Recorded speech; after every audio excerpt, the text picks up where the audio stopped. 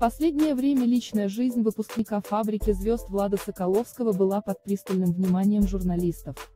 По большей части это касалось его тяжелого развода с Ритой Дакотой, которая в итоге осталась одна с дочерью Мией.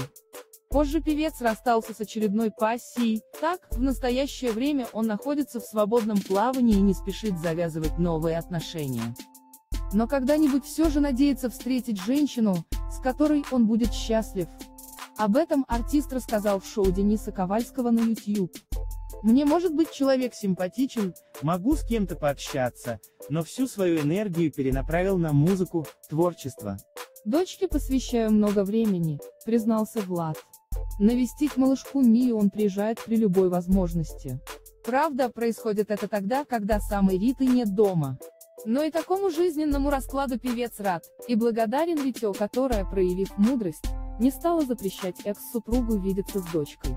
Издание Starhit пишет, что по признаниям Соколовского, у него разрывается душа от того, как сильно он скучает по дочке. Больше по теме Рита Дакота и Влад Соколовский впервые после разрыва подписались друг на друга в соцсетях судя по всему. Бывшие супруги решили поддерживать дружеские отношения. Кстати на днях портал ТЛ-программа Про рассказывал о том, какой популярностью пользуется в интернете новый клип артиста, который он посвятил своей бывшей жене.